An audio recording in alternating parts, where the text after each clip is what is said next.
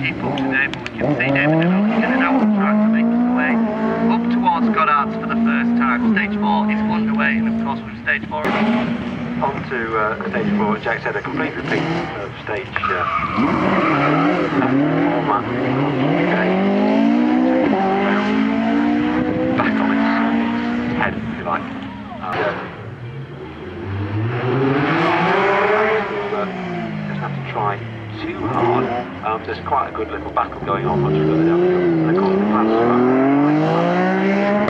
there isn't a battle against the micro because uh, that is the only one in its perspective. You've got to be um, the shop has got to be shut in terms of competition. Not like six o'clock. See how that goes. That's uh, Nigel Mummery coming out. Taking a little steadier, I'm not sure, but um, the uh, uh, FM guy who uh, have escaped, that's going to go on a little bit.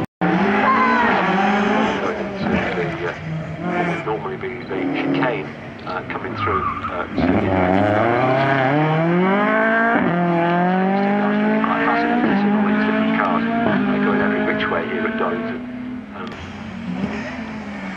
The uh, slight frustration is we do lose them at the, the sort of hairpin on the back of uh, the grandstand here.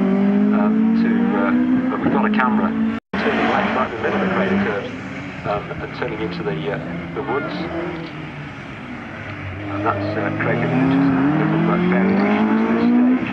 Uh, it's shortened after he's finished the stage, the uh, time will go on to the computer and we're about to tell you uh, how that's comparing.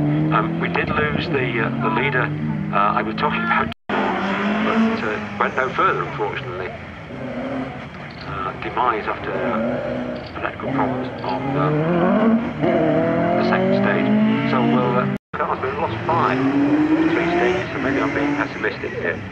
Um, might sound being realistic, but uh, we'll see anyway. The start is an interesting one.